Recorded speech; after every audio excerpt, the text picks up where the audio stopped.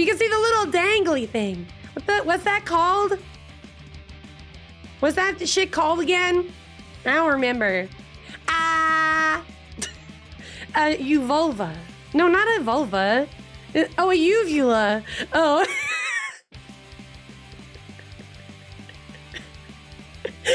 I uh, I don't have. I mean, I don't mind vulva in my mouth. What? What? Uh, I mean, I I don't know. I, let's move on, shall we?